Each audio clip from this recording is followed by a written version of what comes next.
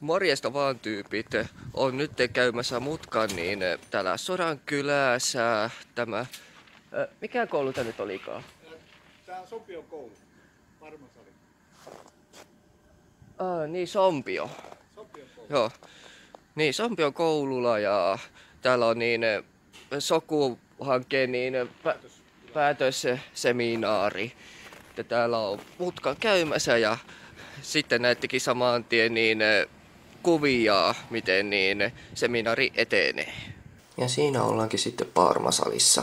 Jännä nimi salille, mutta joka tapauksessa niin siellä käytiin läpi niin tuo Soku-hankkeen menneitä vuosia. Että hankkeen niin työntekijät kertoivat, että mitä kaikkea ovat suunnitelleet ja ovat saaneet aikaa kautta tehtyä. Siinä myöskin niin käydään läpi niin potkurin toimintaa, että mitä ovat myöskin niin tehneet ja saaneet aikaan. Mainitaan siellä myöskin sitten niin tupatoimintakin.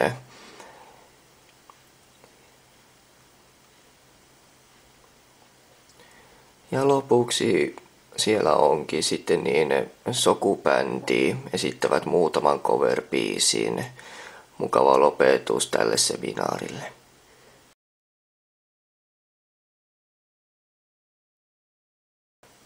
Jos diaesitysten tekstit eivät näy kunnolla, niin pahoittelen siitä. Siinä oli niin päiväreissu kylässä ja Sompion koululla. Justiinsa, ja nyt mä sitten helposti muistan sen koulun nimen, enkä video al- alussani voinut sitä muistaa. Hienoja nämä ajatuskatkot, mutta joka tapauksessa, eli se Sokuhankkeen niin päätösseminaari, jossa olen ollut alusta asti mukana Potkuri Kemin kautta.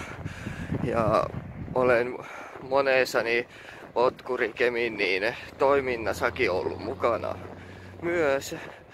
Ka- tar- noilla olisi tarkoitus saada Soku-hankkeelle jatkoa, joka kulki sitten nimellä Soku 2. Sekin selviää ihan juuri kohta, että miten sen asianlaita on. Vaikuttaisi niin kuin myönteiseltä, että se mahdollisesti saisikin jatkoa. Kohta sen näkee. Toivottavasti saisi.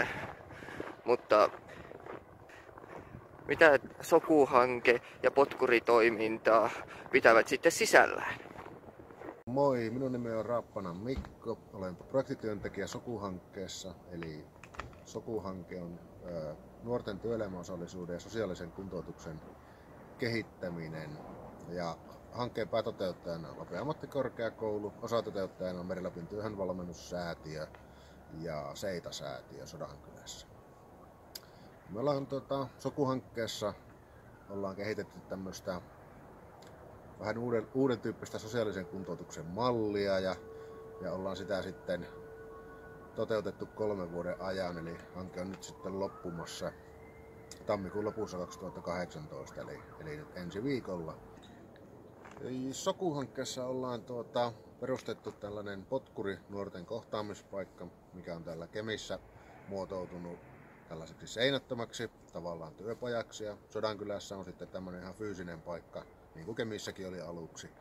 Ja me Potkurissa sitten puhaillaan ja ohjataan nuoria, kehitetään sitä toimintaa, yhteistä tekemistä sen niin kuin nuorten omien lähtökohtien mukaan, eli harrastuksien ja mieltymyksien ja muiden mukaan. Mutta siihen sitten lisäksi sisältyy sitten erilaista ohjaamista, vähän ammatinvalintapuolta, yhteensä tekemistä ja muuta. Pääirteittäin se, se homma lähtee kuitenkin nuorista itsestä, että mitä nuoret itse haluaa niin tehdä, niin sieltä sitten ammentetaan sitä sisältöä siihen. Eli tämmöinen seinätön työpaja, erilaisia ryhmätoimintoja muun muassa ja kaikki harrastustoimintaa ja muuta. Sokuhankkeessa on myös tällainen tupa eli tulevaisuuspaja toiminta tämän potkuritoiminnan lisäksi. Ja tässä Tupa tulevaisuuspajatoiminnassa on ammatinvalintapsykologin palvelut ja sosiaalityöntekijän palvelut, eli tällaista sosiaalisen tilanteen kartoitusta ja ammatinvalintapsykologin palvelut siihen sitten lisäksi. Eli, ja sielläkin on sielläkin sitten asetetaan niin nuori, nuori kuitenkin aina ensisijaiseksi tähän, tähän toimintaan, eli nuorten ehdolla mennään sielläkin. Mepä jatkamme sitten niin ensi video pariin, että tässä oli tältä videolta nämä tärkeimmät, että ensi video, morjensta!